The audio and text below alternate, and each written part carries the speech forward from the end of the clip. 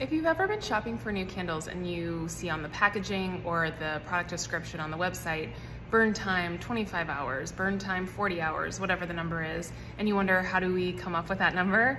The answer is just that we do test burns. Once a product is finished, a new product, we burn it with all of the rules that you're supposed to follow when you're burning a candle, like burning it for no more than four hours at a time, making sure you get to a full melt pool every time you burn, especially the first time, and trimming the wick in between each burn. So we follow all the rules correctly and we do those burn tests to figure out how long the candle lasts. So we just burn an entire candle and keep track of how long it took to get through the whole thing.